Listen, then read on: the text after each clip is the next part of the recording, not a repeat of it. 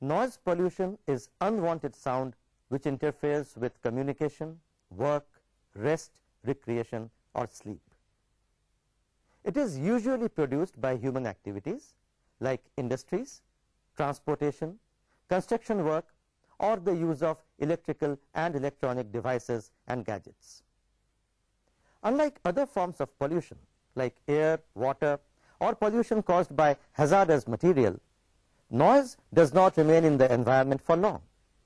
However, while its effect is immediate in terms of annoyance, they are cumulative as far as their impact on health is concerned.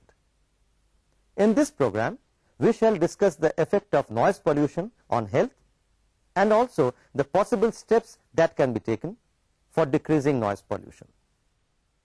Acceptable sound levels. Only some levels of sound in the atmosphere are acceptable to the human ear. Sounds that go beyond these levels become noise.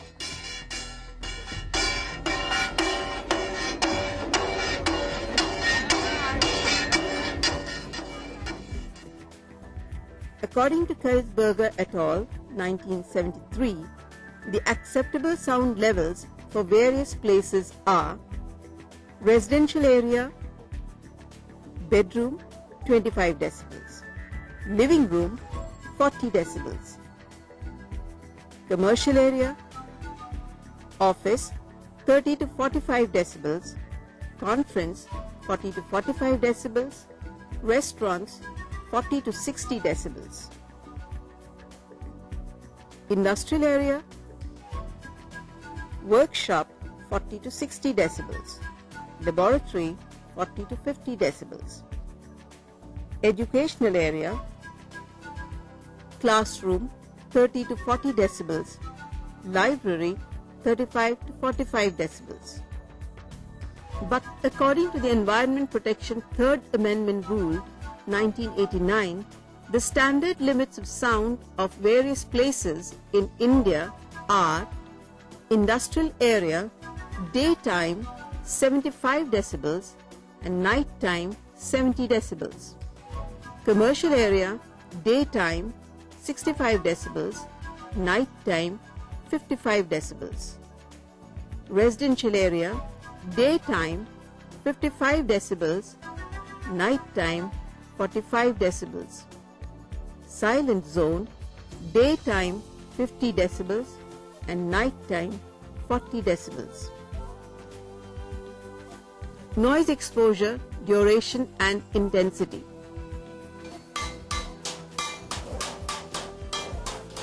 Continuous exposure to sound is always harmful to the hearing system. There is a level beyond which it creates pollution. The degree of hearing loss depends on the duration and the intensity of sound.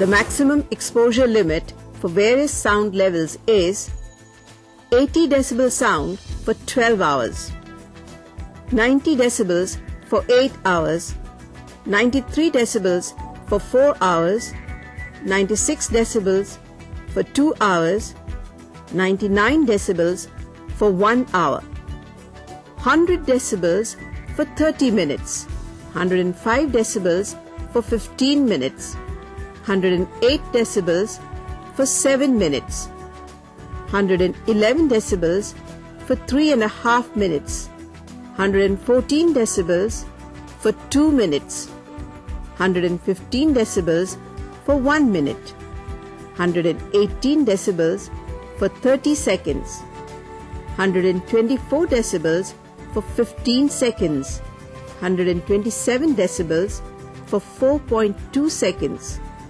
130 decibels for 2 seconds, 133 decibels for 1 second and 135 decibels for 0.6 seconds. The effect of various intensities of sound on human hearing is less than 25 decibels, no problem in hearing. 25 to 40 decibels, problem in hearing of soft speech. 40 to 50 decibels, problem in hearing of normal speech. 55 to 70 decibels, problem in hearing. 70 to 90 decibels, only shouted speech can be understood. More than 90 decibels, unable to hear. Intensity of noise impacts human health in various ways. 80 decibel is considered as annoying. 90 decibels hearing damage for 8 hours. 95 decibels is very annoying. 100 decibels stimulation of reception in skin.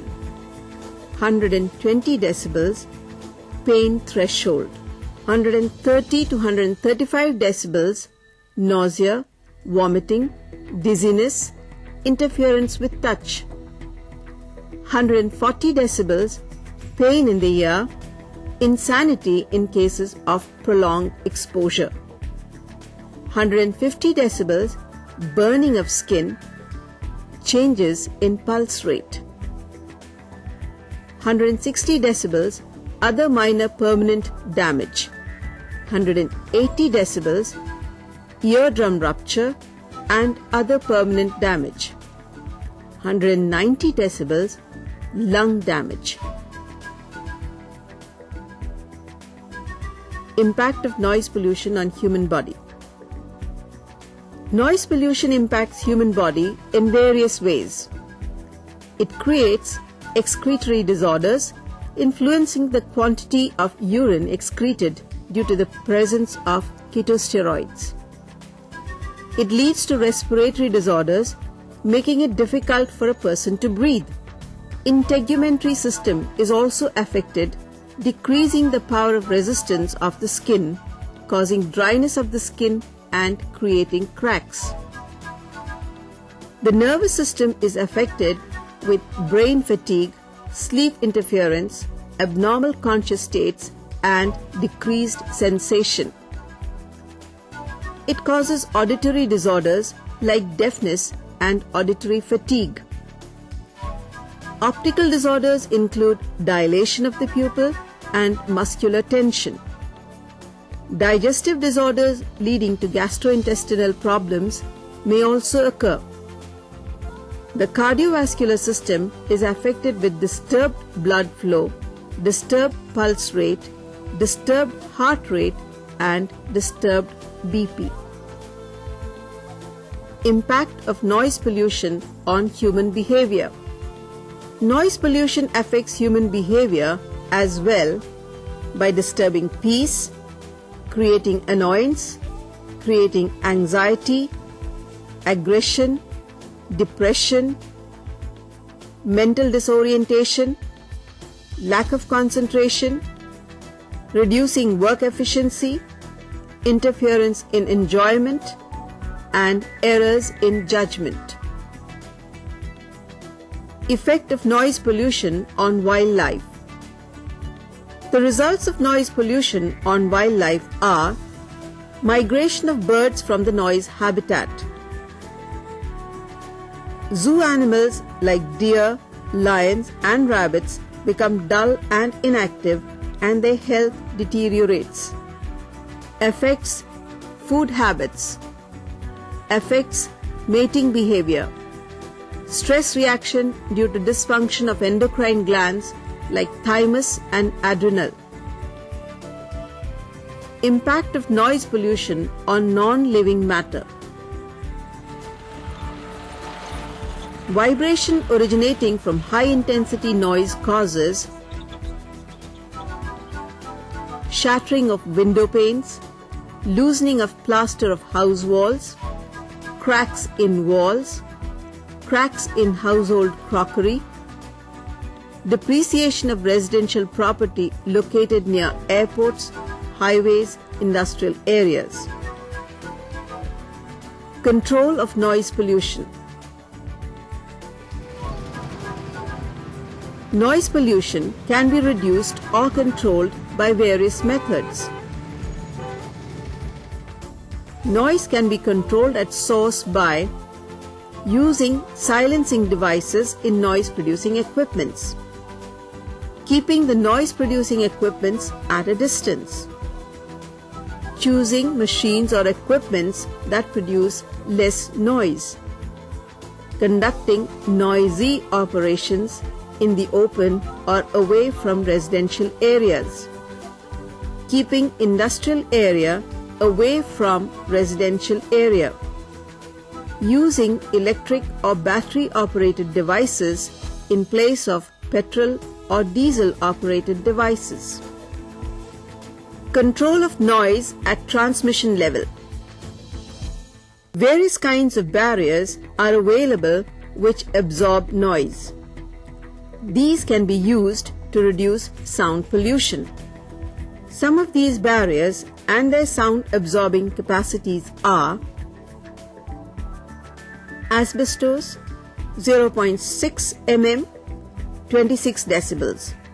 Brickworks 11.6 mm 40 decibels. Fireboard 1.2 mm 18 decibels. Plywood 0.6 mm 21 decibels. Cement slab 7.6 mm 35 decibels. Lead sheet 0.5 mm 15 decibels. Plastic board 1.3 mm 12 decibels. Compressed wood 5 mm 28 decibels. Chipboard 1.8 mm 26 decibels. Clinker blocks 7.5 mm 23 decibels. Curtains 0.25 mm 22 decibels. Protection from sound pollution. Earplugs earmuffs.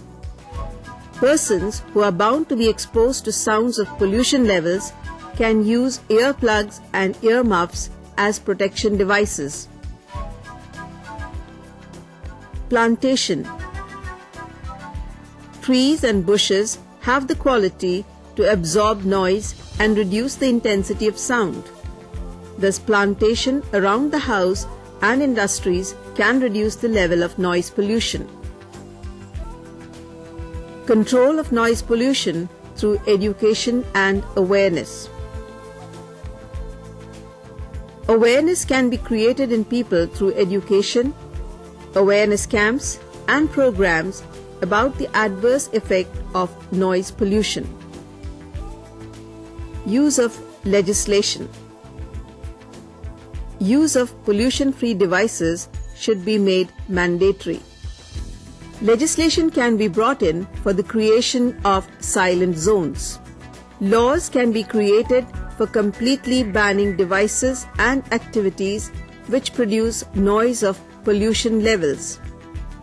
Laws like IPC 1060, sections 268, 278, 290, which define noise of resistance level and punishment for the same should be strictly implemented.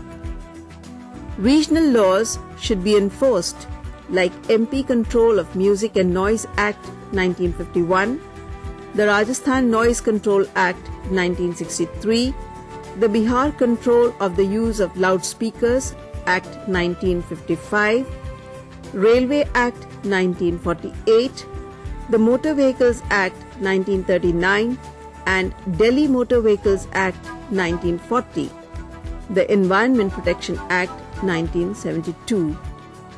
Noise is a silent killer of all life forms. Only self-discipline and social awareness can save the people from noise pollution.